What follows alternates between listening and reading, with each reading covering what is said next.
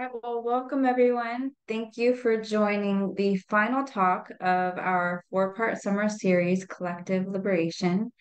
I'm Tiffany, the Executive Director of Combatants for Peace, founded in 2006 by former, I'm sorry, if I just said I was the Executive Director of Combatants for Peace, I meant American Friends of Combatants for Peace.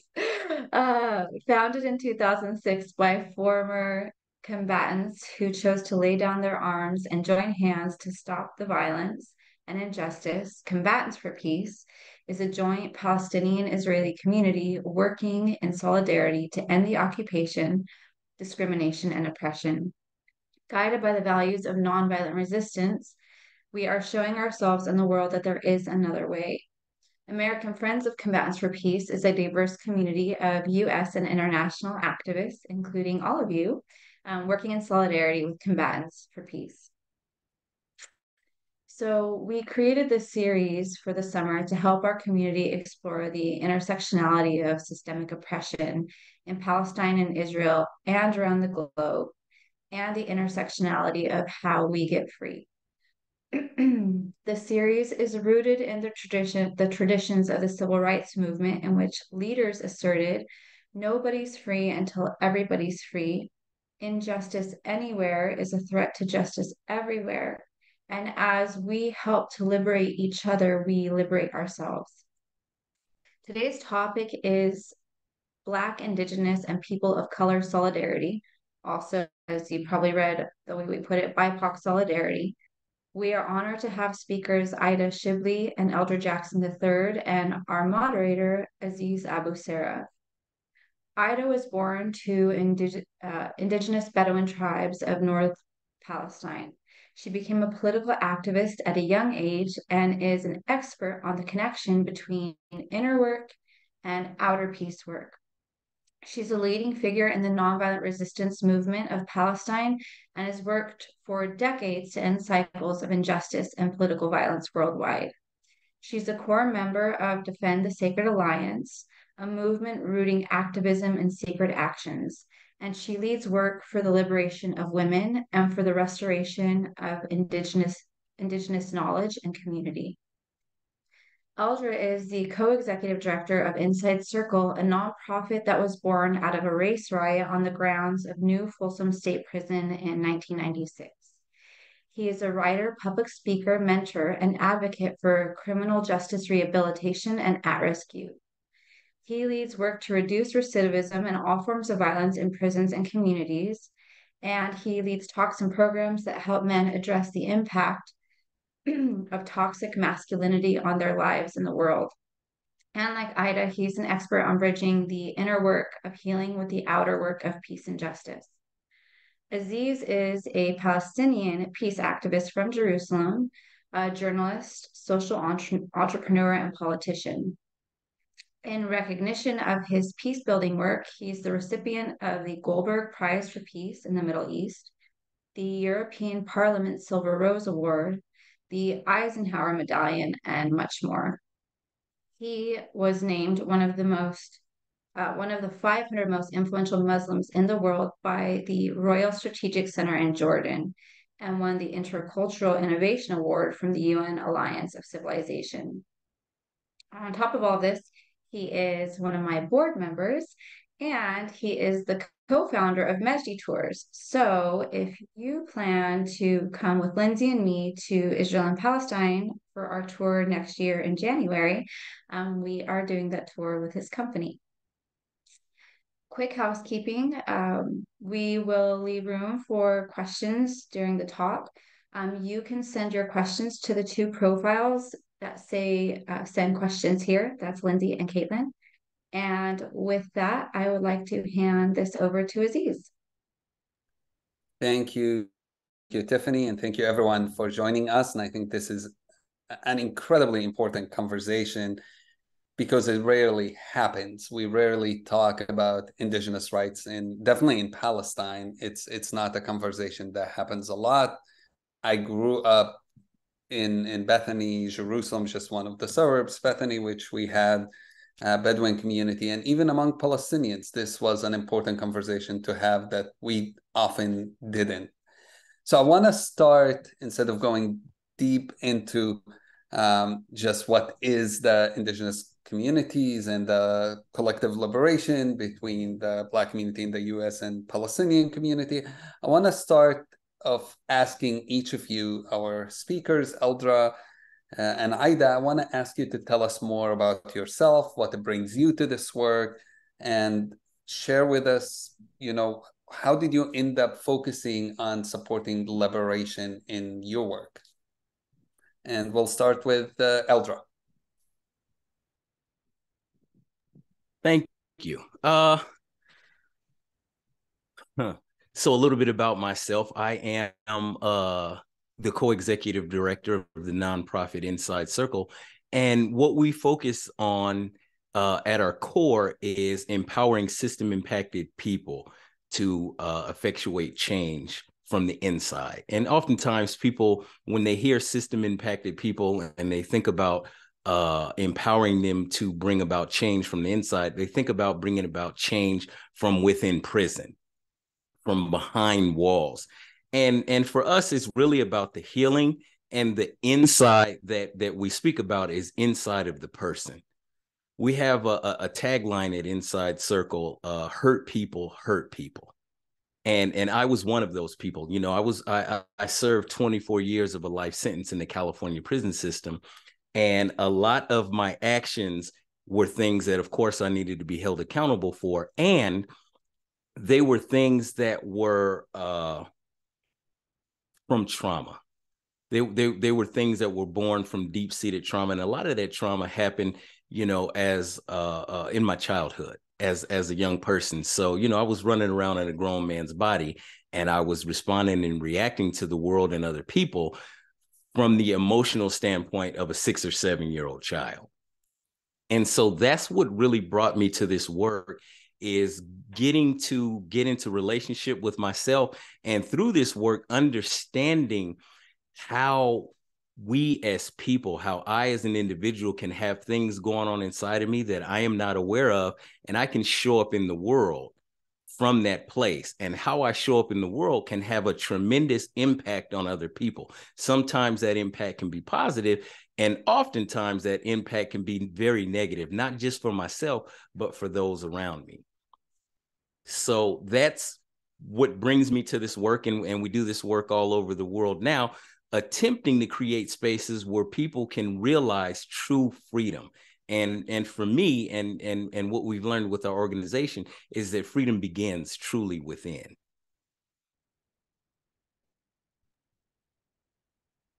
Thank you. Thank you eldra. And aida can you answer the same question? Thank you aziz uh, I, am uh, enjoying that you are saying my name correct Aida with A. I live like among white people and people who do not speak my language often. And so I'm often Aida, Aida, Aida, or Aida. And so when somebody called my name correct, I feel my ancestors jubilating. So shukran Aziz.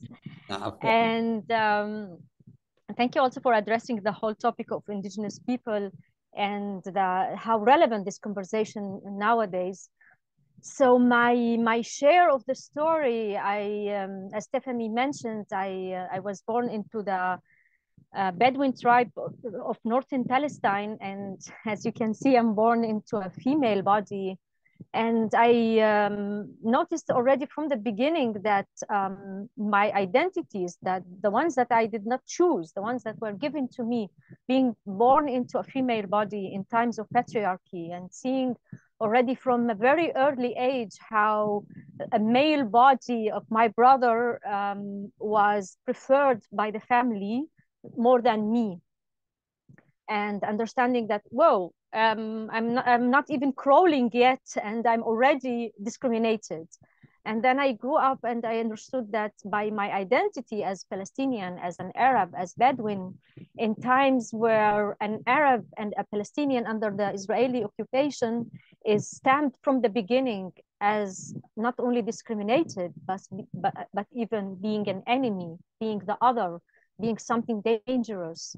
So I even didn't speak the language yet, and I'm already stamped as, as, as a threat to the uh, dominant system being in times of um, born as an indigenous person and having a, different dialect and a different way of living, a different way of dressing, and seeing that my Palestinian society was also rejecting the Bedouin people, was rejecting the indigenous people because everybody wanted to go to modernity, to, to buy the plastic dream of being modern, being, um, being new, uh, being uh, born into the Islamic faith and um, in times of Islamophobia. So already from very early age, I understood that all my identities that was given to me are not wanted. And how how do we deal with rejection? How do we deal with um, being born with these big eyes that want to love and want to live and want to give and exchange? And from the beginning we are marked at something else. So all these rejections um, taught me to uh, search the roots of problems. It's also i go back to my name Aida is coming from Eid, which is celebration, but also comes from Auda, going back to the roots. So my my story and my the the personal trauma that was on me because of my all of my identities led me to uh, try to understand more and more these systems of oppression and how do they come together how do they create for us dif- different scenarios in the world different details. Like in israel palestine it's about israelis and palestinians but it's never about this. It's about how these systems of oppression are manifesting themselves in each place of the world in a different way. So out of my uh, i can say the source of my motivation to engage in personal transformation and collective liberation was my love. I with all the rejection that i felt as a as an individual and as a collective, as a collective identity, when I felt into my body, into my spirit, into my soul, I could just feel that an enormous amount of love to people, no matter who are these people, to life and wanting to live and a, a, an inner image of life that it is meant to be a paradise, meant to be a love affair, meant to be something joyful. So, so I had to work with these two contradictions, being rejected and being stamped from the beginning as an enemy, as something not wanted. And from within me, there is a force of love that is not allowing me to accept that reality. So that, that brought me to a long life of resisting, but also with the time I understood that I need, instead of resisting, I, I have to be the master of my life by creating co-creating with the divine and with Mother Earth the life that I want.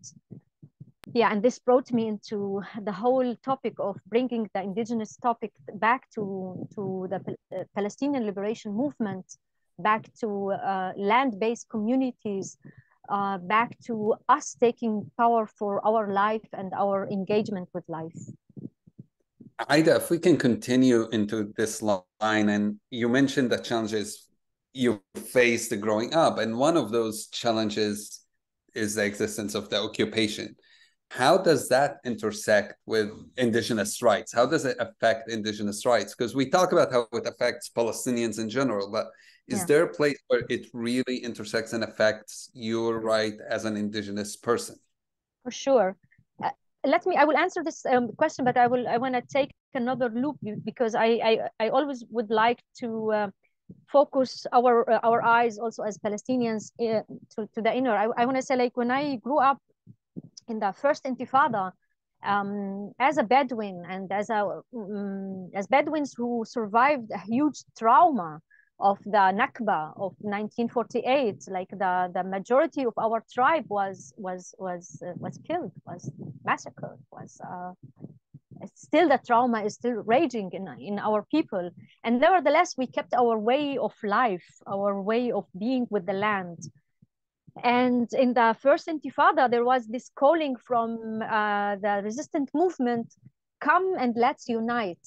Let us reject all the divisions between us and let us um, confirm or make one uh, one identity, one Palestinian identity. And I, as a feminist, believed them. And I, as, a Bedouin, believed them. I said, okay, let us leave, put aside our feminist rights and our indigenous rights, and let us go together for one identity.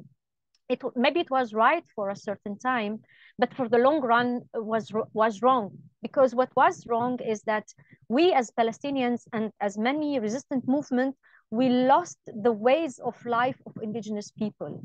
Indigenous people main way of life is being connected with mother earth knowing knowing life from from from the bases. We are indigenous people all over the world. I mean we are 4 to 5 percent um, of the world population but we are taking care of 80 percent of the biodiversity of the world 5000 rare uh, languages are are within indigenous people. So indigenous people know the ways of being with life the ways of power with and occupation is is another um, example of many systems of oppression where it's power over and so we wanted to resist the occupation power over by the same tools of the occupation resisting what exists. But we for, we did not take um, our ways of living. And i think today our main way of um, resisting and co-creating a different life that goes with life is moving from power over to the whole dimension power with power with life and by this um, integrating and um, yeah taking again um, our ways of indigenous ways of living with land with life with earth. So where occupation intersect is the the places that we are seduced to move from a we, a tribe consciousness, a community consciousness into individualism consciousness. That's that in the essence of uh, systems of oppression is this separation from the overall life, from the others.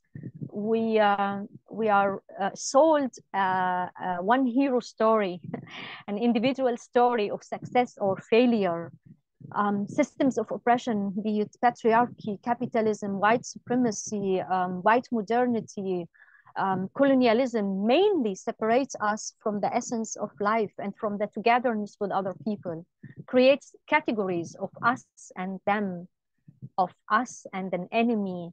And whenever we buy into that dichotomy, that separation, we are in the stools of the master, which will not dismantle the, the house of the master. I hope I answered your question. Yeah, yeah, um, absolutely. Thank you. And we'll get back to it in a bit.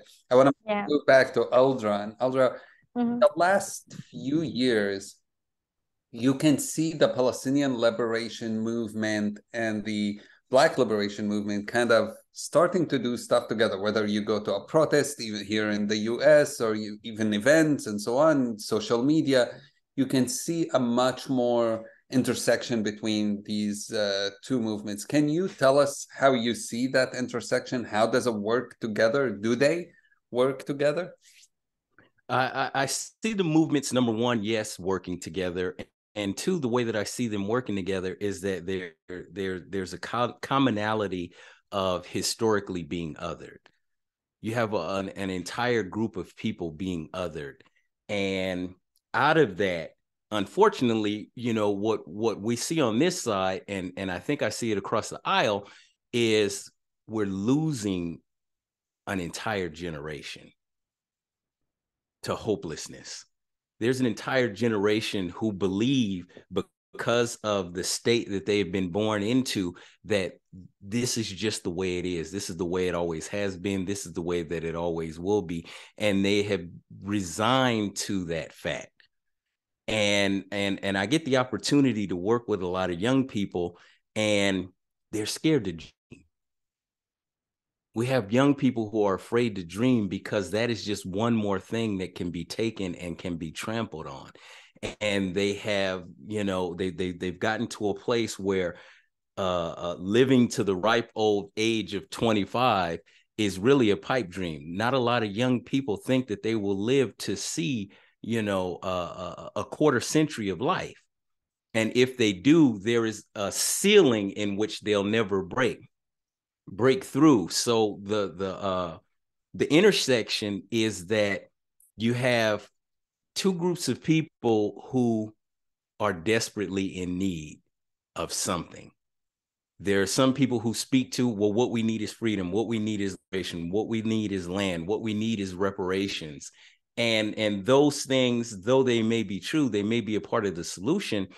What we need is healing, in my humble opinion. Because if we get all of those things that we're talking about, and we've not gotten to a place where we are ready to really receive those things and come from and act from a healthy place, the cycle will continue. So uh, uh, uh, uh, violence is has become the norm. Death has become the norm. Despair has become the norm. Homelessness has become the norm. Uh, addiction has become the norm. Things that should not be normal for human beings are things that we have found a way to rationalize and normalize and it continues to create a situation of virtual zombies.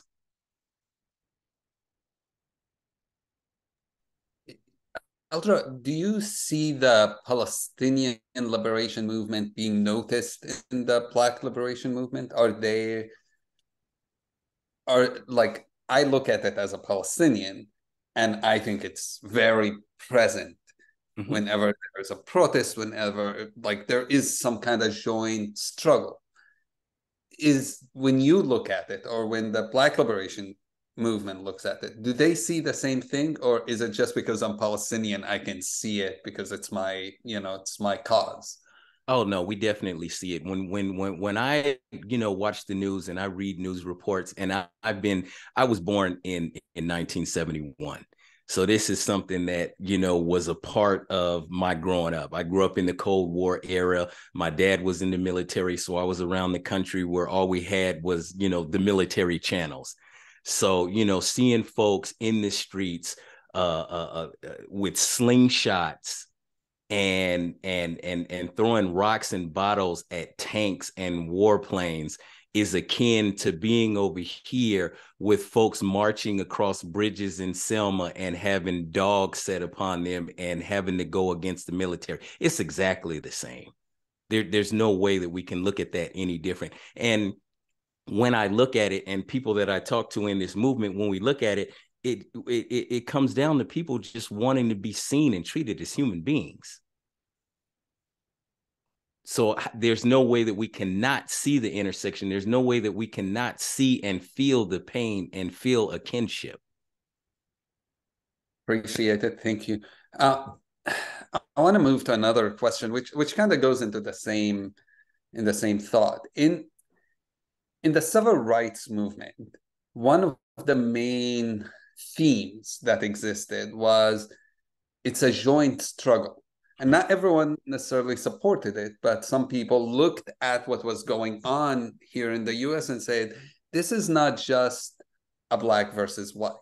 This is not we all shall shall stand together against any system of oppression rather than saying well this system of oppression favors me therefore i don't care or it doesn't affect me and there's this concept that that really developed in the civil rights movement that basically said, well, if you're not free, then I'm not free as well. Whether I'm white, whether I'm black, whether I'm brown, it doesn't matter who I am. I'm gonna have to stand with you because that injustice against you doesn't make me better, doesn't make me uh, my privilege isn't good for me when I see my fellow human being being treated the way they are, mistreated, uh, demonized, dehumanized. And we see similar things happening today in Israel and Palestine. We see some Jewish communities that has been present in protests, have been present in joint resistance, have been even in the protests happening in Tel Aviv right now. There is this group that always uh, saying we're not only fighting for our own democracy, we need to fight for both, for Palestinians and Israelis to be equal, to be the same human beings. Uh, so I wanted to ask you about your thoughts, your wisdom of how can we get first your your thoughts about what I just mentioned, and then how can we be free together? How do we work together against those systems and not whether you are from the group of the oppressor system or the oppressed how do we come together and work work together as one group? Sometimes it's possible sometimes it's very challenging to do that. Um, so i'll start with eldra and then we'll move to back to aida. Oh, certainly. So you know when when when you speak to uh folks who supposedly uh, uh, benefit from a system of oppression you you you can look anywhere in the world, be it the U.S., be it in Palestine or wherever. You have people who are the beneficiaries of system of oppression, and they live in prison. They live in gated communities. They live behind walls. They have armed guards. There are checkpoints. There are all of these sorts of things that, to me, are not signs of a free society. They are not signs of liberation. They are not signs of utopia. I lived inside of a physical prison. And when I go to some of these places where you have to check in with the guard and they uh, uh, uh, have to open gates and they have to raise barriers in order for you to move, and they have all of these checkpoints, that's just like behind the wall. That's just like Folsom Prison. So, just in that piece right there, the way that folks have to live in fear of something is a lack of freedom, is a lack of liberation. So, you are oppressing people and you are keeping them in a particular place so they cannot move.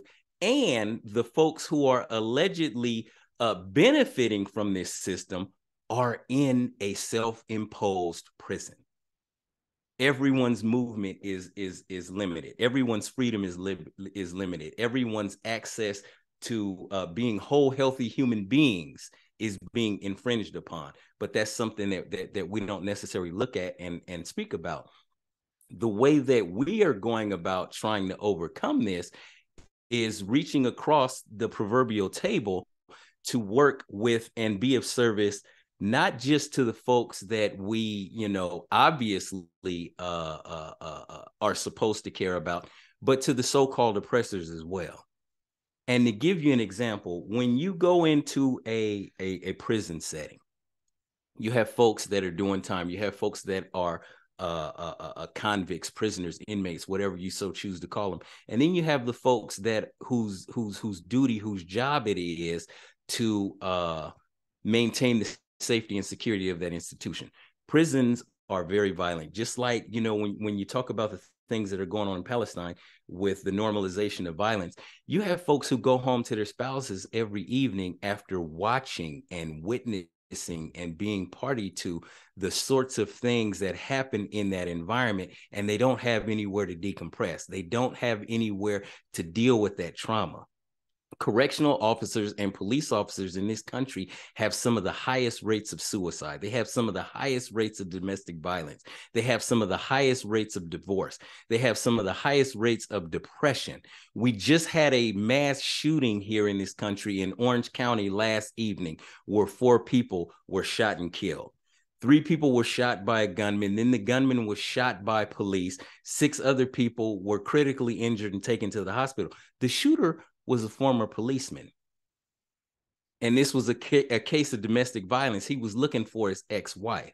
So, what we do when we go into prisons, when we go into these correctional settings, we offer to sit with not just the folks that are housed there, we offer to sit with the folks whose job it is to work there. Because if we're working with the people who are housed there and they're beginning to heal and they're beginning to live from a different place, a more holistic place, a more humane place. But the people who are in charge of their custody and care are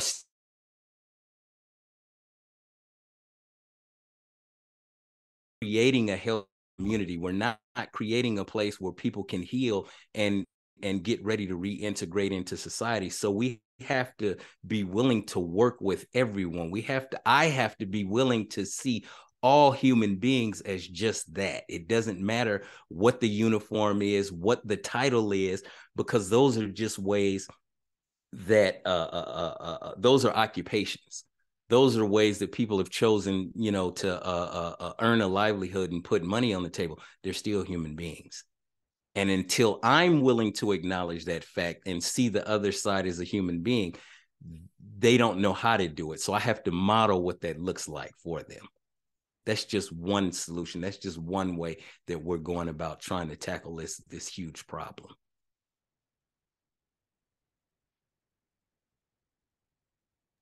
Aida, uh, what's your thoughts about the idea of this joint liberation between the people who come from the, that benefit from the system of oppression and those who are hurt and in some ways we both are hurt by the same system just in different ways. Yeah. Very good question and like the starting point of um, is there somebody who's benefiting from the system um, good question. Um, I don't know if a person who is, uh, as um, Eldra started to answer. By the way, I'm also born in 1971. I hope you're not also in November. We are exactly having the same biography.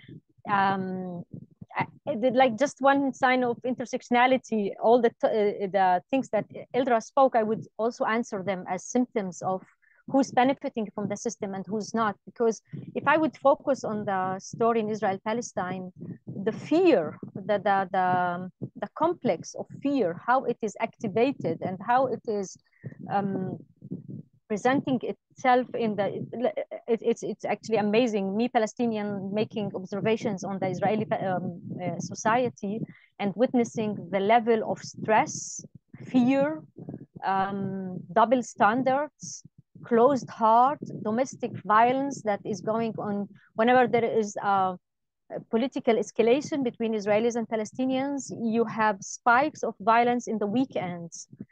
And the explanation of it, it's exactly these soldiers and policemen who go in the weekend to their beloved girlfriends or mothers or sisters and uh, you are um, putting a young boy into a system where he has to close his heart during the week and shoot Palestinians and go in the weekend and make love and be respectful to his mother and be kind uh, and sensitive to his sister. And uh, what happens actually that that split of the heart is not possible and domestic violence in weekends is, goes spikes in, in israel exactly during political escalations against palestinians who benefits from a system that is oppressing life? But in the end there are people there are systems are not uh, something virtual. Systems are people. In the end there are people who are manifesting operating operationalizing the systems. So in the end we have to come to the question of good and evil binary of good and bad. Is there people who are benefiting from the system yeah there are unconscious people who are benefiting from the system. How can we move from this place of when the majority of people are being harmed by the systems all systems of oppression how can we move towards um, more liberation? I think it's um, this place of uh, understanding the how fear is misused in order to keep people in trauma, how fear is actively um, used in the Israeli society to maintain a narrative of victimhood while oppressing another people. We have to look into unprocessed traumas that happen to these people and to every person who was traumatized, as Eldra said, hurt people is hurting people will hurt people and and where where to start the the healing where to start the um yeah where to start the healing. It's a big question for me as palestinian in times where the our the internal violence and the crime in inside the, the palestinian um, society is rising to um, to places that i don't know it as an adult. And it breaks my heart to see how we did also internalize the, the, the ways of the system and start killing and using um, this uh, weapons that are sent to us by the system, by the same occupation, and we are using it. So how much violence is not processed? Um, the schizophrenia that is, is happening in people who are benefiting from the system but living in fear. Mm, the split of the heart, how to answer this? Big, big questions. And in my work, It's mainly creating spaces where people can meet each other and listening to stories, listening to the place where we are all harmed from these systems. And I think that um, if, if, we observe it also now in Tel Aviv, I mean, I, I observe it with a grain of salt. I do see many people rising for democracy, but we Palestinians are saying that democracy that you had before is not what we really want. We want a radical change. Few signs here and there are linking the lack and the, the, the um, um, losing that democracy. Um, they are linking it with the occupation. Few, and they are rising more and more. And I am, as a Palestinian, I celebrate every flag that rises and make the connection between the two. My hope is actually comes on um, people, victims of the world, unite and unite in consciousness, unite by taking our back to us. And instead of uh, fighting the systems within the ways of the system, actually creating systems that goes with life. And yeah. that's why I go back to indigenous communities, based land-based communities, we want to boycott Israel and we want to boycott um, the occupation. First, let, let us uh, um, uh, uh, do our food. Let's harvest our water. Let's create alternative ways of local societies that lives accountable. And in these places to raise consciousness. My hope goes also to many Israelis and Jewish people who are joining the movement and um, understanding that them joining the, the collective liberation is not an act of goodness, is not a charity, it's a duty. It's a huge duty to use your privilege in a, in a responsible way to change the situation. Ida, one, um, more thought uh, I just want to, well, on that you brought up. You mentioned the recent protests in Israel, and I wonder how much that is you think affecting joint liberation work bringing do you think some israelis or more israelis are looking at what's happening and saying oh that is the same system the same system that says oh these palestinians are bad are now saying well anybody who disagrees with us be palestinian be jewish be whoever you are you're bad. Your rights are not as important as mine. I think the Israel, the Israeli minister of uh, of police of uh, security, internal security, just said it honest openly yesterday on televisions. My right trumps everybody else's rights. He he's not even yeah. shy about it. My rights come first. Yeah. Do you think that is making people saying, "Oh wait, yeah, we used to benefit from this, but it's coming back to bite us now, or you think people still in denial? For sure, there are still some people in denial, and I look into the people, the more people that are rising and understanding and connecting the dots, and I believe that. Um, with the movement of information and with the, the, the milieu, the global milieu that is happening today, more and more people are awakening to connecting the dots between that system will eat will eat some part and in the end it will come to you there is this buddhist uh, prayer that says I, I, don't quote it now correctly but as much as i remember that it says first they, they came to take the jewish i was not jewish i didn't um, uh, uh, um, I was not against them. Then they came to take the homosexuals. I was not homosexual, so I didn't rise. And now they come to take me. Who will rise? And and that's that's the systems. They will take uh, uh, parts they will take parts and unless we come together and understand that these systems are against life and we we we do our actions with life then we we will lose it. And unfortunately sometimes i feel that us human beings we don't um, some of us cannot uh, take uh, uh lessons out of choice. Some of us need to be forced and I think today the, the, the, global situation of drought, of climate change, of climate crisis is, is forcing us to understand that we cannot go alone, we cannot go more into this denial, into this, um, some are benefiting and others not. I think we are coming to a very big potential collapse that needs us all united without any difference between us and them. I, I count on people who raise their consciousness for for choice because choice is liberation. Love is liberation. If any movement or any action that we are doing is coming from calculation and us and them we will also lose. Also us we think we are alternative movement. But if we don't come from radical love and radical choice we won't lead into liberation and so my love told, tells me that uh, there are more and more people rising and connecting the dots. And i still believe that in my lifetime i will still see something total global shift um, and it, it has to come from our consciousness. Thank you. Um, all right i think it's time to start getting some uh, some questions from everybody. So if you have any questions please send it to us. And i have already a question here that says how can this is from the audience how can we support this fight for freedom? So let's go for both of you. Eldra how can people listening be supportive of the work you're both doing?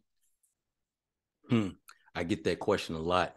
And for me the the the, the answer is it, it starts with the individual and doing your own personal work. For me it starts with doing my own personal work. You know yeah i am a part of a nonprofit and the work that uh combatants for peace you know they could always use funds. But again money will not solve this. Resources will not solve this. Me as an individual looking internally at me because even when i think that i'm right and i feel like i'm on the correct side of an issue I can easily fall into the place where I start to do and be the exact thing that I'm fighting against. I can start to cast judgments on other human beings. I can start to look at other human beings as less than. I can start to see other human beings as the enemy. So I have to always constantly be aware of what's going on inside of me and what it is I'm projecting into the world. So to be a part of this fight, to be a part of this struggle, I invite everyone to look at themselves to go inside and find out who they are and get in touch with their humanity because from that place I am able to be a part of the solution and see the humanity in other people.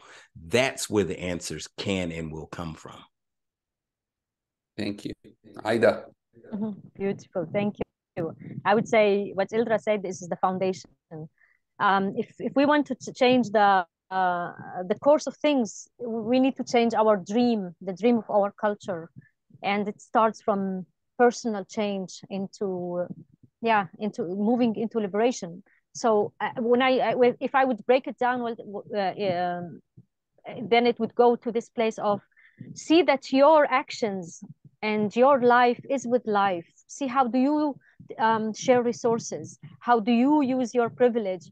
How how many of us um, of you people who are with privilege can use them to amplify voices of unprivileged people?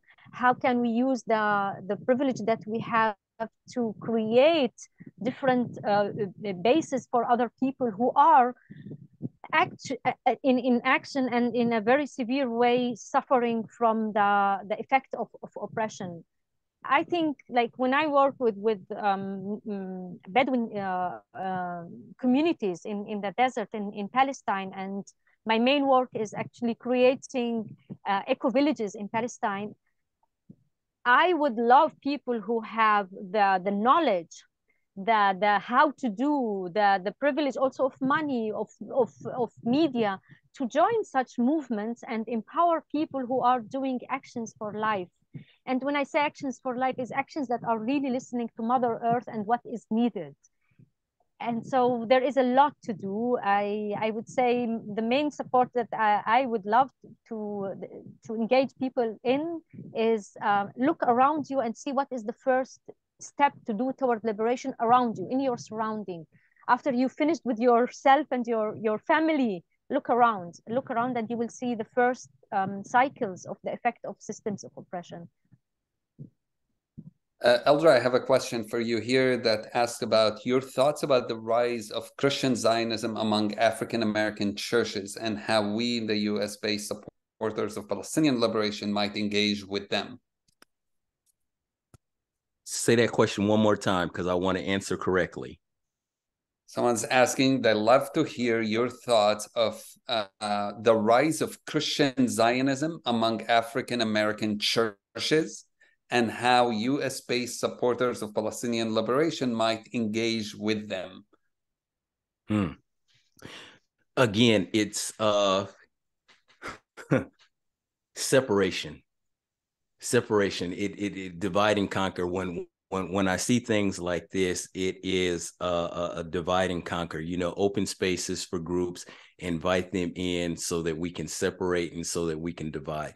Again, for me, it, it comes down to humanity and seeing the light in other people.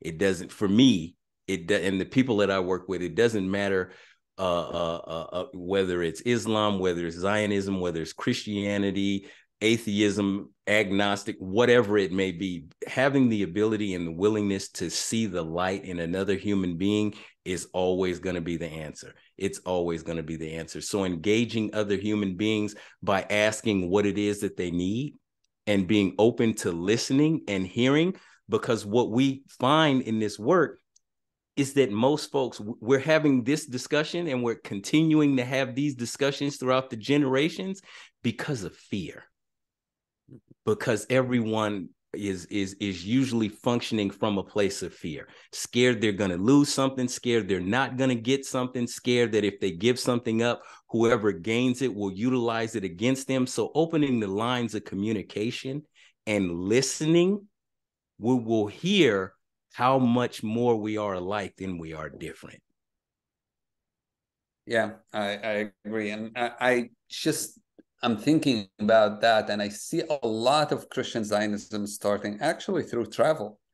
People come to Israel, they do see the holy sites, and they don't really get to see any Palestinian often on, on their trips, especially Christian tours that are very much designed to to only get you to see the holy sites and that's it. And you leave and you think, this is this is great this is fantastic and slowly because of that tour people start moving toward i'm going to support one side mm-hmm. israel because they must be all right i was in israel loved it everything's fine didn't meet any palestinians and it's just that's that's the challenge we have is being able to take those stories that people often don't hear and mm-hmm. bring it to them stories like the ones we're doing today. How do we engage with these people? Bring those stories. They'll i believe we'll have a recording of this. Have have them hear somebody like Ida. have them hear somebody like eldra and realize there's more to what you see on television. There's more than what you hear on your tour where you meet only one tour guide who'll tell you whatever they want to tell you and you don't have the background to to know more. Yeah. um I got, I got another. Oh, go ahead, Eldra. Yeah, I, I, was just gonna say, you know, briefly when when when you talk about you, you know these different isms, those and and and viewing sites, going on tours and seeing things, and all of those things are very beautiful, and that's not a representation of spirituality. The part that is missing that that you didn't mention in there, and that a lot of people don't latch onto, is the spirituality the yeah. connection to that one, the connection to that thread that runs through us all. That is not a site.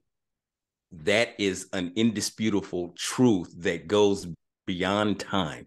So, you know, inviting people into that connection, inviting people into that space authentically is very difficult not to see, you know, the the light in other humans. Amen to that. Well, uh, Aida, uh, we have a question here about how do Palestinians or do Palestinians accept uh, the Bedouin community now, the indigenous community? What's what's your integration within the Palestinian community? And do you see a change in that in the last few years? Do you see a movement that indigenous communities, Bedouin communities are more accepted? Thank you. I don't think that the, the, starting point that the Palestinian community doesn't accept the indigenous communities. They are part of the Palestinian community.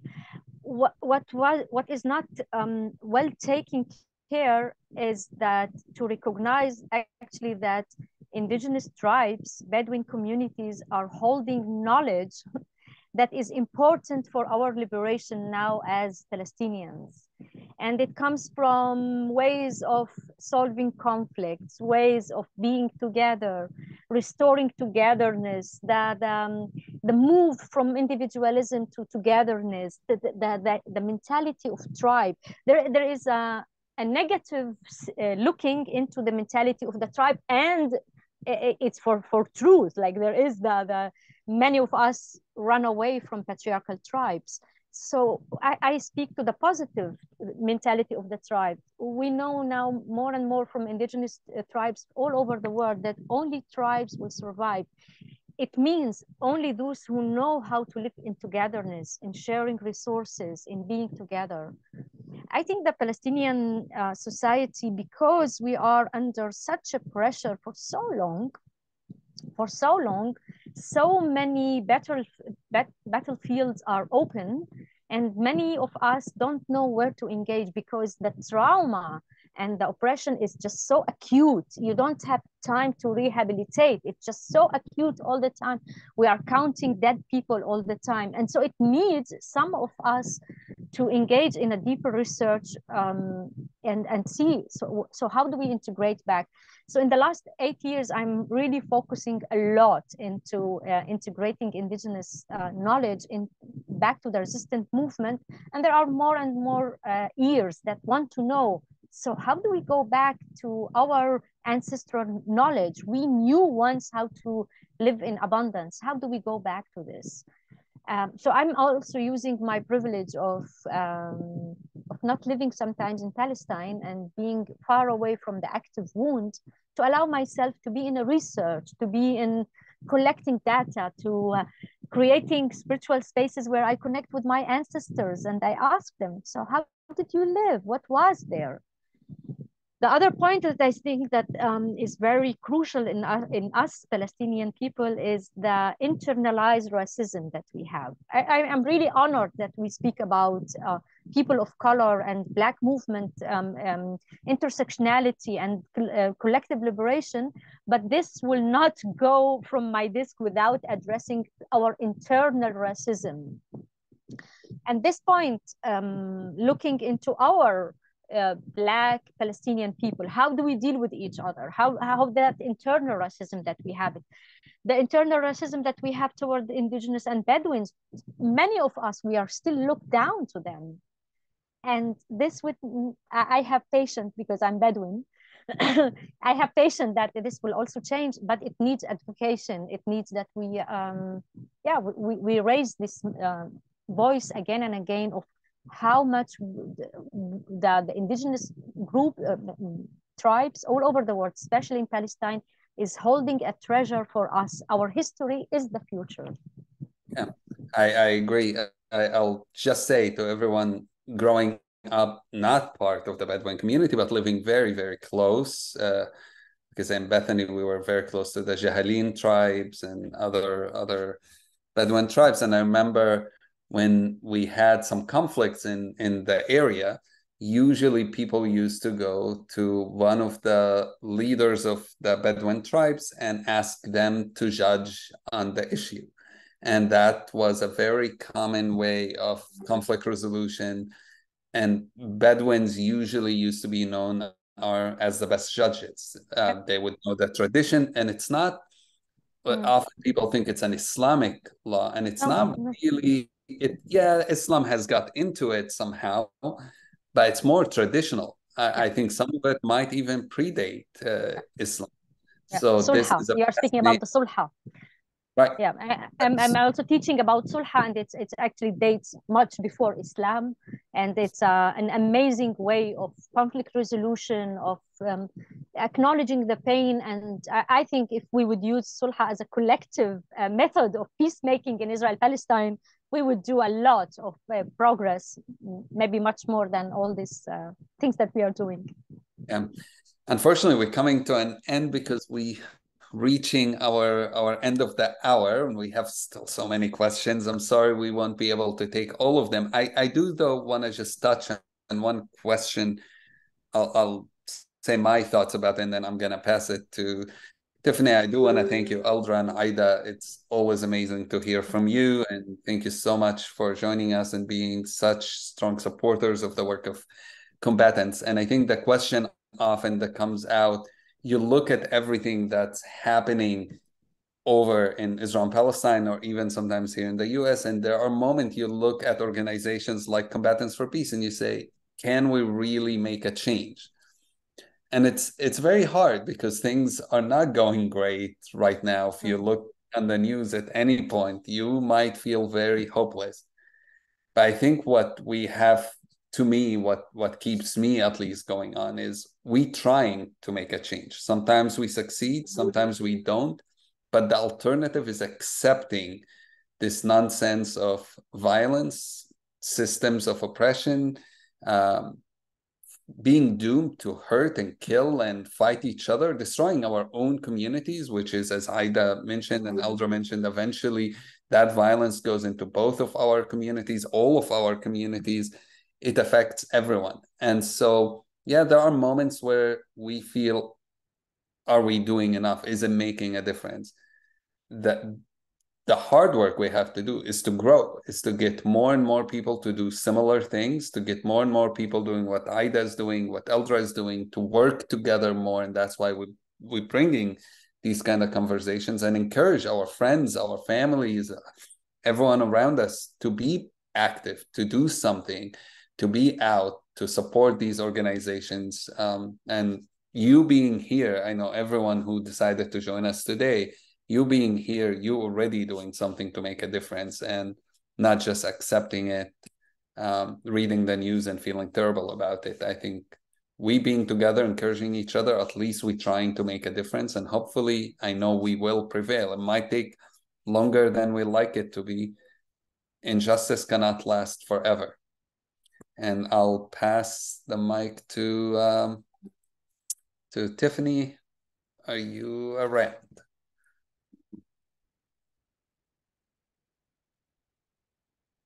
Well, thank you everybody for joining us. Um, this does conclude our final talk of our summer series. Um, you know, as Ida and Eldra spoke about this internal work and um, so much about, there's so much even with Aziz too, sharing about listening to each other.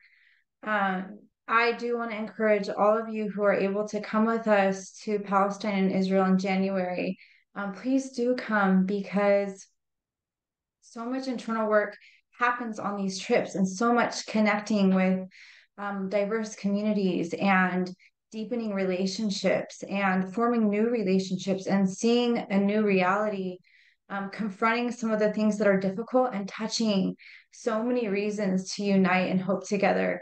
Um, that is what we will be doing and um, so i do hope that you will join us for those who can Thank you again, everyone, so much. Ida, Eldra, Aziz, thank you for sharing your wisdom with us today and for the lights that you are in the world and the healing and the goodness you are creating. Um, and to all of our supporters, have a wonderful rest of your week. Can't wait to see you when we launch our next series and hope to see you um, in January. Take care.